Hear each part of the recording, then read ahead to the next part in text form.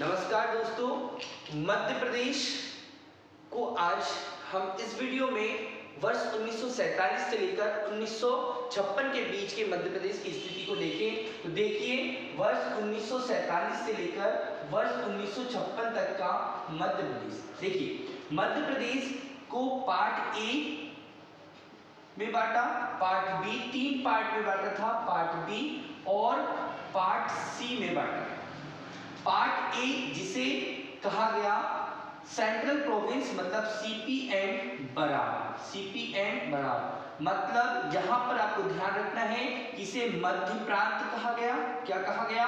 मध्य प्रांत part B को Madhya Bharat Madhya Bharat, part C को विंध्य प्रदेश, पार्ट सी को विंध्य प्रदेश।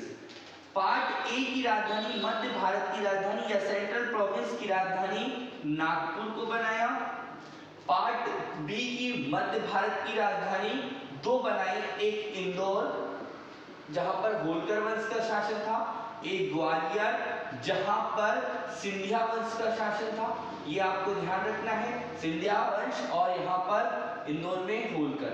तो ये छह छह माह के लिए इनको दोनों को राजधानी बनाया गया और पार्ट सी की राजधानी रीवा को बनाया गया।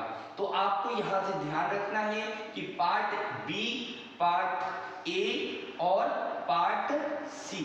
एक रियासत, अलग एक पार्ट बनाया गया, जिसका नाम रखा पार्ट सी, पृथक भोपाल। भोपाल रियासत को यहाँ पर ध्यान रखना है, इसकी राजधानी भी भोपाल बनाई। ये जो पार्ट ए है, इस पार्ट के सीएम पंडित रविशंकर शुक्ल हैं तो ये आपको ध्यान रखना। और यहाँ के राज्यपाल जो है, राज्यपाल ये है ई राघवेंद्र। राघवेंद्र बहुत इंपॉर्टेंट क्वेश्चन है। यहाँ इंदौर वाले से याद रखना कि ये पश्चिम की बड़ी रियासत थी। पश्चिम की बड़ी रियासतें और इसके राज प्रमुख, आपको याद है राज प्रमुख जीवाजी राव, जीवा जी राव सिंध, सिंधिया, ये भी आपको ध्यान रखना है।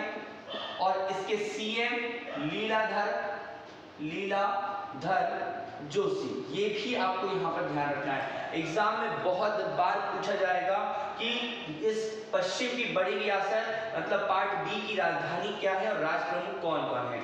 यहाँ पर पार्ट सी राजधानी रीवा, जो बुंदेलखंड बुंदेलखंड और बघेलखंड दोनों को मिलाकर बनाई गई था।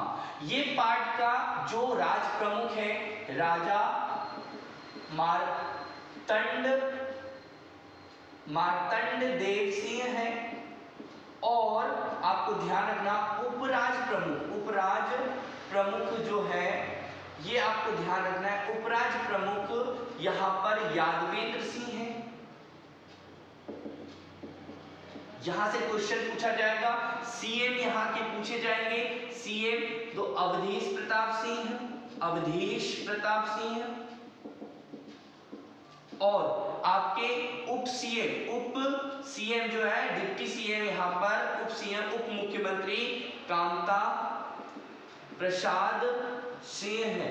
तो आपको इस एग्ज़ाम में, आपके एग्ज़ाम में, पटवारी एग्ज़ाम में, जेल पहले के एग्ज़ाम में, सारे एग्ज़ाम में अगर एमपी से क्वेश्चन आते हैं, यहाँ से आते तो इतने क्वेश्चन बनना अनिवार्य है।